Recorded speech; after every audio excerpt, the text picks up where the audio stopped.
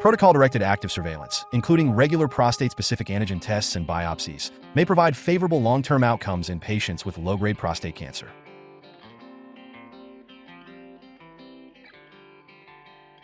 A prospective observational study of 2,155 men with prostate cancer evaluated the long-term outcomes of a protocol-directed active surveillance. Of the patients included, nearly 85% were classified as low or very low risk, while 15% were classified as intermediate risk. The protocol-guided follow-up included prostate-specific antigen tests every 3 to 6 months, confirmatory biopsies at 6 to 12 months after diagnosis, with subsequent procedures every 2 years after diagnosis.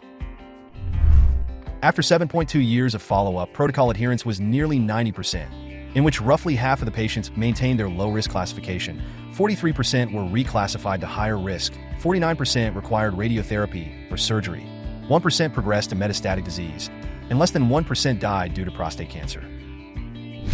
This study highlights the favorable long-term outcomes of a structured approach for active surveillance in patients with low-grade prostate cancer.